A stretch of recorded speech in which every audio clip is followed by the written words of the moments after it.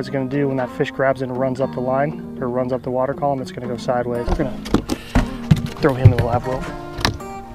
Fry him up for later, for lunch. So welcome back, ladies and gentlemen. Today we're gonna be talking about something that you probably all fish with, slip bobber setup, live minnows, but more importantly, yesterday was about 92 degrees. This morning I woke up, it was 58. So we're gonna find out what these crappie are doing, even though this kind of cool front moved in here. Um, we didn't have any weather patterns last night, like no rain or anything like that, but it did get pretty cold. So, relative. We got live minnows here, and we got some leeches. Those are for walleye. Maybe later this morning, see if we can find some walleye, but right now we're gonna find some crappie on some brush piles. It's late July right now. These crappie are gonna be set up on their their deeper ranges of the summer patterns.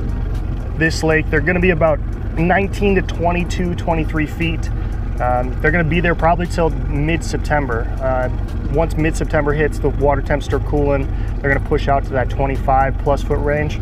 But uh, we're gonna go find some brush piles. I'm gonna show you a little trick that you can use to determine, uh, I guess, if these crappie are super aggressive versus if they're just a negative bite. There's something you can do with your split shot that you put on your slip bobber rig it's gonna help you catch more fish. So let's go find some brush piles. The first thing is the Aberdeen hook. Um, I use these Zoneloc hooks. It's got a little bit of a bend. Helps keep the minnow on and doesn't that barb doesn't tear up the fish's mouth. Whenever I'm doing a, a live minnow rig, I'm tying a snell knot. So snell knot's pretty simple. You're gonna take the line, you're gonna put it through the eyelet the opposite way of the point of the hook. Okay, so the point of the hook is over here. I'm taking the tag line and bring it the other way. I'm gonna pull out like four to five inches. And what you're gonna do is you're gonna pinch that line just as the, the hook starts to bend. You're gonna pinch it together with the shaft of the hook. You're gonna take that tag end and then you're gonna wrap around both the uh, shaft of the hook and that line that you have pinched. And you wrap it four or five times. Now I'm gonna pinch all that wrapped line together. And if you notice, there's a loop right on the bend of the hook there that we created from all this wrapping. I'm going to take the tag end and bring it right back through that loop. I'm slowly pull the line tight. You want to keep those loops that you wrapped around the shaft of the hook below the eyelet of the hook. So you kind of pull it together and then it just slides up right beneath the eyelet of the hook. And there you go. Now the reason this is important, I'm going to cut the tag end here real quick. Reason this is important is if you notice the line's going this way through the eyelet of the hook. So when you set the hook, the line uses that eyelet as leverage to put that hook into that fish's mouth. That's why I use a snell knot. So this little trick of determining whether these fish are going to be super aggressive or it's going to be more of a negative bite, when you put your split shot on, pinch it, pinch it on the line. Typically like six to eight inches above the hook is pretty general. If it's a super aggressive bite, this allows that minnow to run and trigger a bite.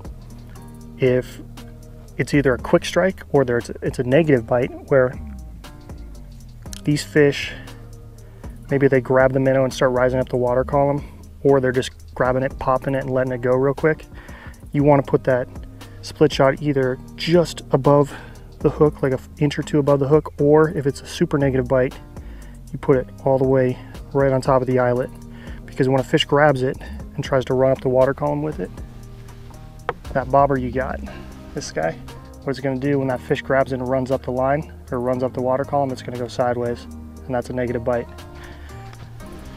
So that's how you know you got a, got a strike on a negative bite. So now let's uh, set up on these brush piles and catch some fish. All right, so now that we're tied on, I got my buoy marked here. There's actually a couple of different brush piles with some fish on them here. So this is where my buoy is, right over top of that brush pile right there. And for starters, we're gonna just assume these crappie are still aggressive like yesterday when I was out here. There's some debate whether you hook these through the back or the, the nose. I'm gonna start, start off hooking through the back. It gives a little more natural looking motion and they wriggle like crazy. There's a fish. He's running with it. There's a crappie. Well, looks like they want the aggressive pattern. That was the second little drop of the bobber there.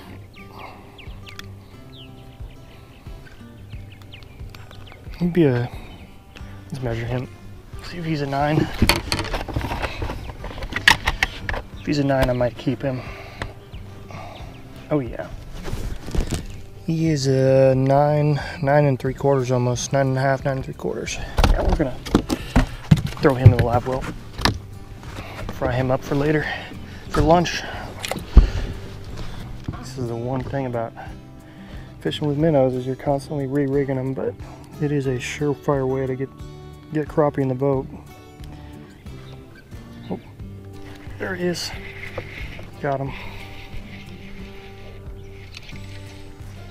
There we go.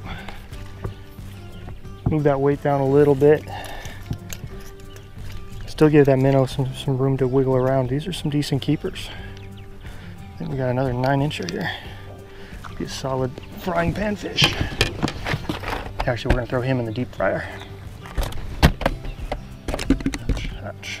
Come on, dude. Yep, another nine. He's about nine and a quarter He's coming home. And I need a new minnow. Just little adjustments like that help trigger those strikes. Ooh. I slid that that split shot to about a couple inches above, uh, about inch and a half, two inches above my my hook there, and uh, it helps me see that strike a little bit better. It's such a quick strike on some of these fish. Well, dang. There he is, got him that time. Ooh, that's a bit of a fighter. Yep. He's a bit of a fighter for a little guy. Let's see what he is.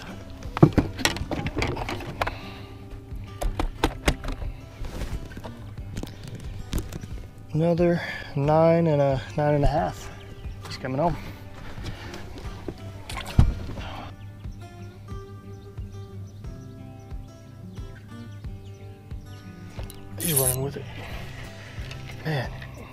Was a tricky bite. But that's another keeper. Another keeper. He was just sitting there holding it. He popped it once and he just he didn't want to take it down any further. Oh yeah, another nine and three quarter. There's nine. He's almost 10.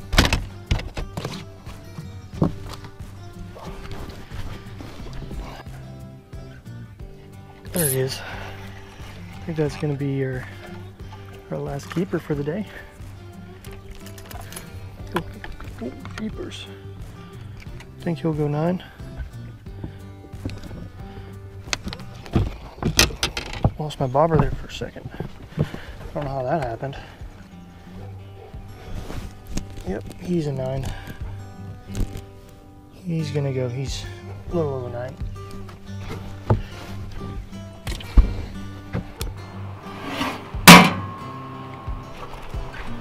All right, well, we are, this is the uh, brand new Bayou Classic made right here, well not here, made in the US in Louisiana. And uh, I did catch some additional bluegill, so I'm gonna cut those up, put them in some batter, and then we're gonna fry this thing up, turn this thing on and uh, fry them up. I forgot to pick up some hush puppy stuff because uh, last time, I think it was in North Texas, had some hush puppies in this thing. Really good, so. Not, not cheap, but highly recommend if you fry a lot of food, this is what you want. Um, I've seen it in Mississippi when I traveled there. I've seen it in Texas, Arkansas. Like this is this is what you want. This is a four gallon model. Got four gallons in there. Comes with the two frying trays. But yeah, and the tent gauge. Definitely something you want. We're gonna go batter some fish up, throw them in the bag, and then throw them on those uh, batter racks and dip them in the oil.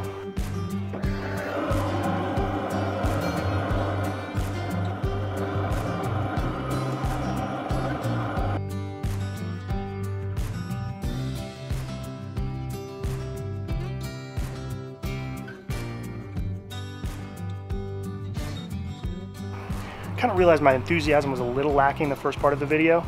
Uh, it was a little early in the morning yet, but uh, slip bobber fishing with live minnows, it's, it's amazing.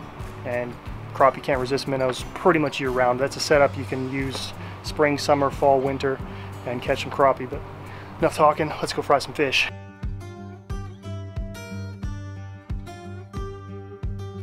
Well, there you go, ladies and gentlemen. All fried up, nice some, some nice golden crispies. I'm gonna go edit this video, have myself some nice uh, bluegill and crappie. Cool thing about, forgot to mention, cool thing about this, there's a there's a V-shaped bottom to this thing. So you can see from the backside.